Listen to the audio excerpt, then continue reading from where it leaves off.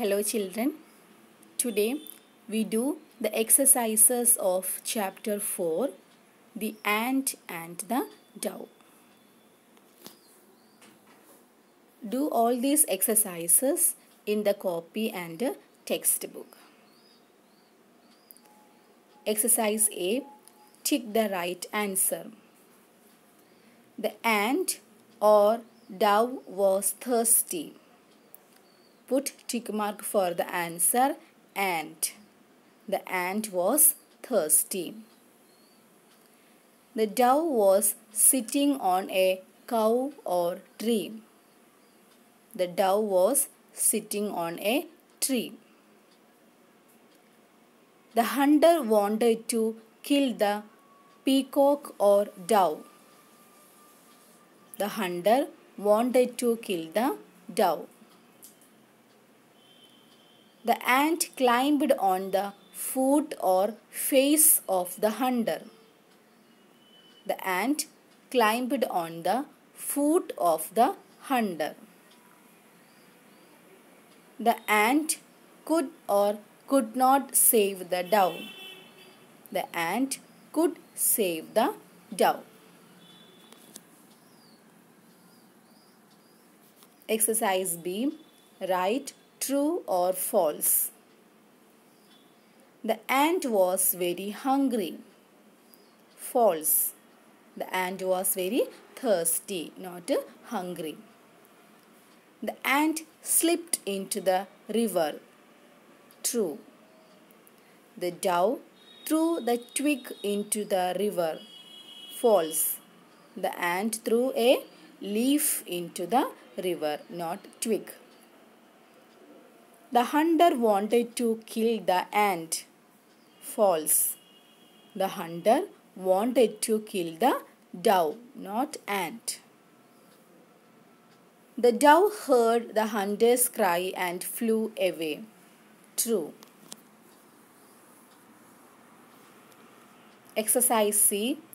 Fill in the missing letters to complete the words. The ant went to drink dash from the water from the river. Missing letters A and T. The ant went to drink water from the river. The dash was sitting on the tree. The dove was sitting on the tree. Missing letters O and E. The dove threw a dash into water. The dove threw a leaf into water. Missing letters E and F. The dash came to kill the dove. The hunter came to kill the dove. Missing letters U and U, And R. The ant climbed on hunter's dash. The ant climbed on hunter's foot. Missing letters F and O.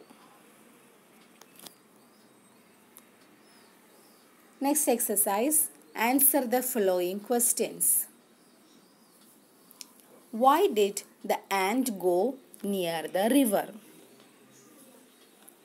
Ant went near the river to drink water from it.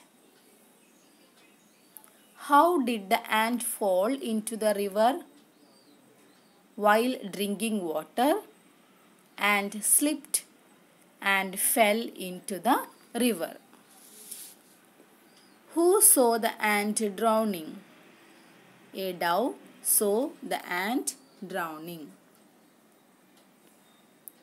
What did the dove do to save the ant? The dove plucked a leaf and dropped it into the water. What did the ant do to save the dove? The ant climbed on the hunter's foot and bit him hard. So do all these exercises in the copy and textbook. Thank you. Have a nice day.